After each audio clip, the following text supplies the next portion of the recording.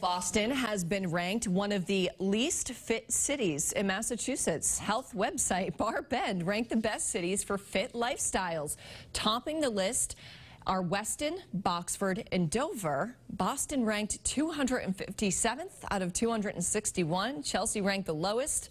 To make the list, researchers used 11 metrics, including obesity rates, exercise opportunities, and access to healthy food. I hmm. thoroughly disagree. I see people running around Boston all the time. And I today, today's Bagel Friday for us. well, yeah, And so we're gonna we're gonna we're contributing yeah to we're the contributing to the problem.